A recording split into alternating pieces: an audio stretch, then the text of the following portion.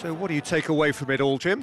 Well, I think when you score with your first effort and goal, there's a good chance that things are uh, going to go your way for the rest of the game. And to be fair, they used the impetus it gave them to gain a level of control, and I think they went on and deserved to win. My thanks to Jim. We both wish you a very good evening.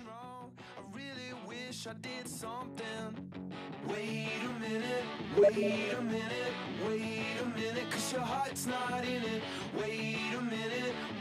wait a minute, wait a minute, cause your heart's not in it.